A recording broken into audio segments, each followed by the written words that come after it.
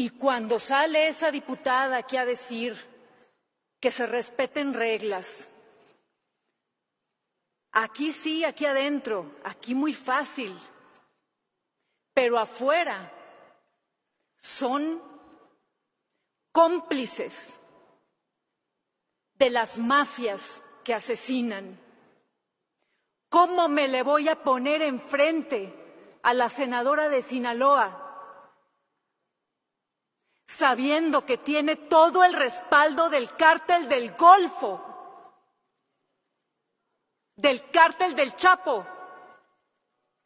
¿Cómo nos vamos a poner enfrente de ustedes que tienen todo el respaldo de los narcos, de las mafias?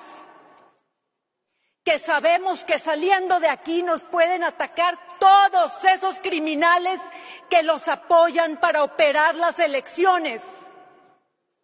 Esto es tener valor y responsabilidad cívica, hablar por los ciudadanos de bien que no aceptan a los narcopolíticos que son ustedes.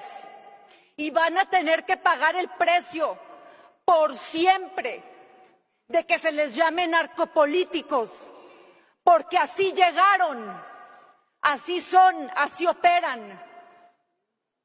Morena es el brazo político del crimen organizado, por eso el presidente López Obrador salvó a Ovidio.